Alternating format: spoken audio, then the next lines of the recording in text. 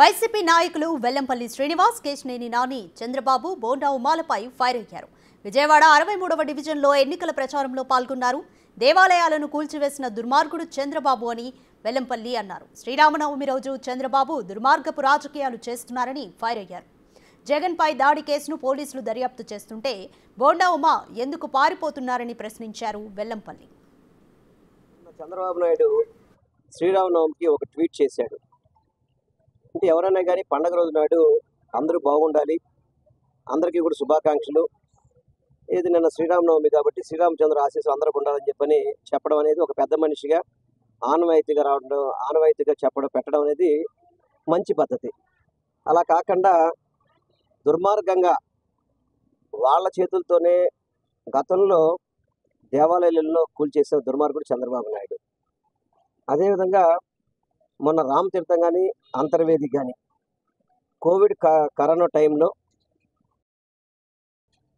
దుండగులు దేవాలయాల మీద దాడులు చేస్తే రామతీర్థం దేవాలయం అయితే కనుక అత్యంత అద్భుతంగా జనరల్గా గతంలో అరాకొర సౌకర్యాలతో ఉండే దేవాలయాన్ని రాతి కట్టడం కట్టి టీసీగా అదే రాముల వారిని టిటిడి టిటిడి దేవస్థానం ద్వారా విగ్రహాలను చేయించి పునర్ తొమ్మిది నెలల్లోనే ఆ గుడిని కట్టడం కానీ ప్రతిష్ఠించడం కానీ జరిగింది.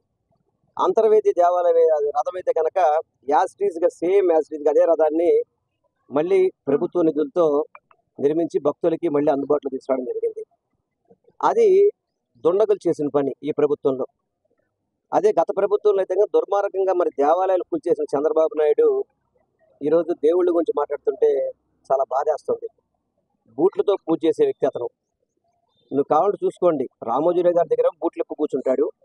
అదే దేవుడి దగ్గర బూట్లో పూజ చేస్తాడు. అటువంటి వ్యక్తి దేవాలయాల గురించి దేవాలయ కూల్చివేతల గురించి మారుతుంటే బాధేస్తుంది. గతంలో నువ్వేం చేసావు బోండోమ కూడా ఫస్ట్ మొట్టమొదటిలో ఈ ఘటన జరిగినప్పుడు ఏమన్నాడంటే వెస్ట్ కాన్స్టిట్యున్సీ నుంచి రౌడీ షీటలను తీసుకొచ్చి ఆయనకి ఆయనే రాయించుకున్నాడని చెప్పి అన్నాడు.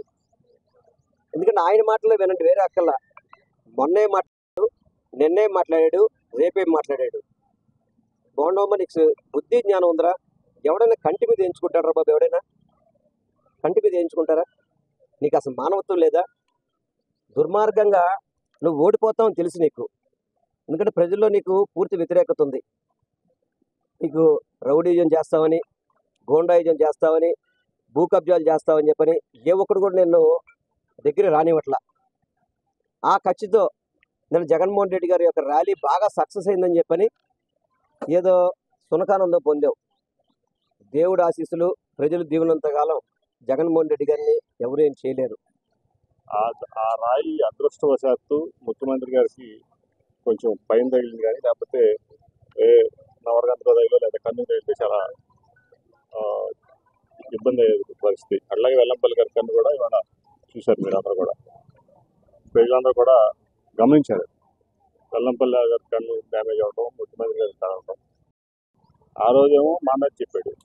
తర్వాత ఏమో మనకు అన్నా క్యాంటీన్ తీసేశారని చెప్పి గులకరాయి పెట్టి కొట్టారు మా వాళ్ళే కొట్టారని ఒప్పుకున్నాడు అట్లాగే ఏదో డబ్బులు ఇవ్వాలి డబ్బులు ఇస్తాను తీసుకొచ్చారు. ఆ డబ్బులు లేదని కొట్టారని అంటే అతని మాటల్లో కాంట్రడిక్షన్. అతను రోజుకో మాట మాట్లాడుతున్నాడు. ఎందుకంటే అతను చేసింది అతనే చేశాడని అతను తెలుసు. అతనే చేయించాడని అతను తెలుసు. ఖచ్చితంగా దీంట్లో పోలీసులు మేము మొదటి రోజు నుంచి డిమాండ్ చేస్తున్నాం. బోండా ఉమా కుట్రాంగి బోండా ఉమా మీద ఖచ్చితమైనటువంటి ఇన్వెస్టిగేషన్ చేయాలి. అతని మీద అతను కొడుకు మీద. అతని విధంగా తప్పు చేసుంటే అతన్ని మీద సరైనటువంటి చర్యలు తీసుకోవడం